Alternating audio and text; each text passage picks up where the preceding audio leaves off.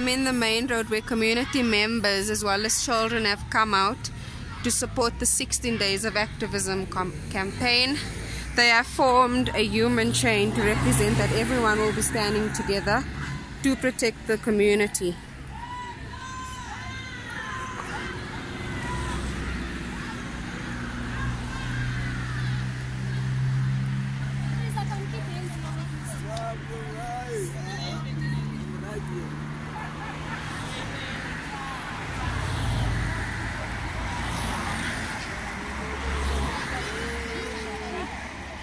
Guys,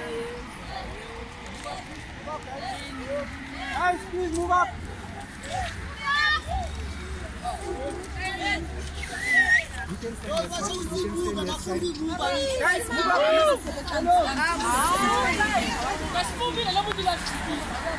Move guys, move guys.